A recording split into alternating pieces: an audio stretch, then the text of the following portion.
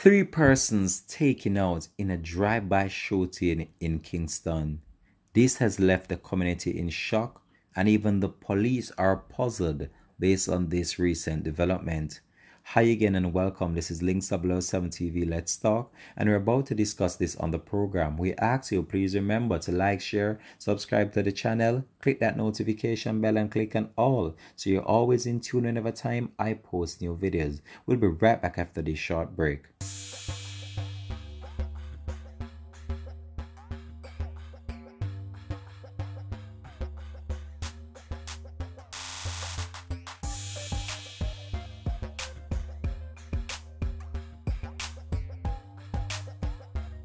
Welcome back and thanks for joining us for the program. This is Link 7 TV. Let's talk. The year has started and it has started on a bad note with crime and violence becoming so rampant and the number of people lives that have been lost just in a 17 day period since the start of January is a cause for concern. And we've reported on so much incident that have took place some have not even bothered to cover because it's too much and too much crime and violence is going on. Now I have another update in relation to an incident that took place in Kingston in which three people were actually shot and none of them actually survived this daring attack. And I'm going to bring you up to date with this right now, right here on Links 7 TV. Let's talk. So detectives assigned to the Area 3 Major Investigation Division MID are probing the circumstances surrounding the shooting death of three men on Lincoln Crescent, Kingston 5 on Friday, January 15. The deceased have been identified as 34-year-old Jerome Lawson of Greenwich Park Road, 20-year-old Mark Nation of Lincoln Crescent, both of Kingston 5, and 29 year old Anthony Barrett of Luke Lane, Kingston.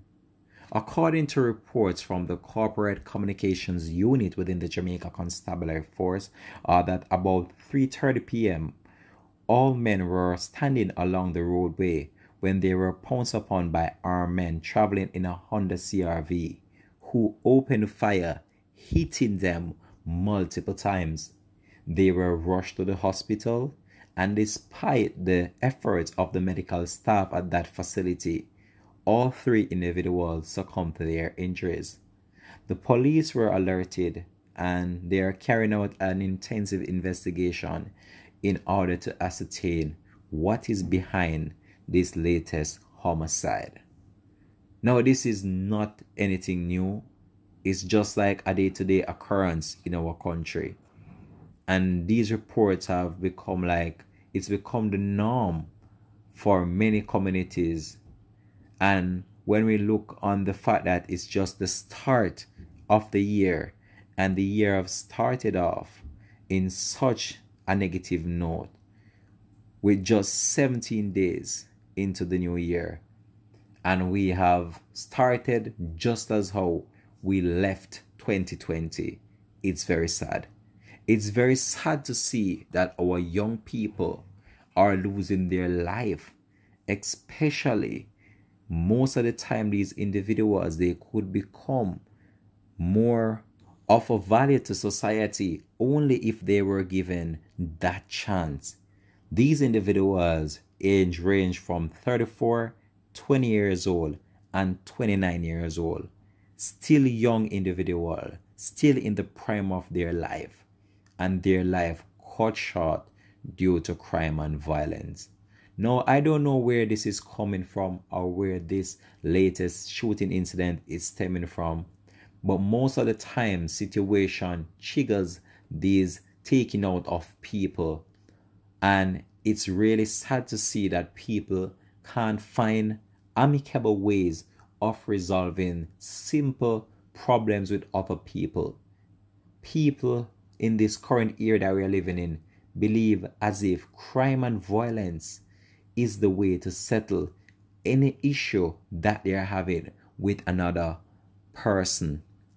And most of the time, it's either end up one behind bars, one in the morgue, or two of them in the morgue depending on what transpired before and after the actual incident. Because most of the time, when these people's lives are taken, we have reprisals afterwards.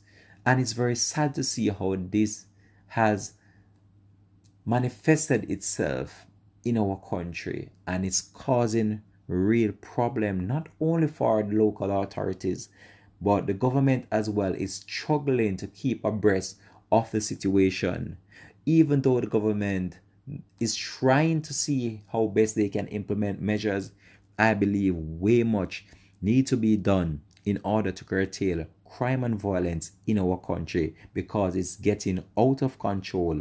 And until the government finds some amicable way of putting in measures in place we have a real problem.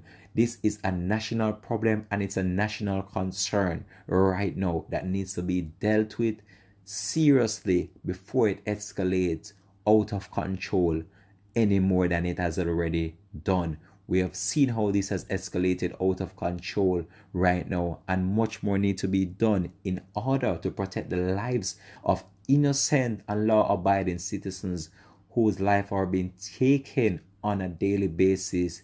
Just because they are more affluent than the other person or just because of some simple domestic dispute or simple disagreement that the other party believe as if their life should not matter anymore. I'm gonna leave this one here for now though. Thanks for watching. This has been Links 007 TV. Let's talk. Drop it in the comment section. Let me know how you feel about this story. Much love and much respect goes out to you, the viewers, wherever you are watching in the world. Peace out and blessed.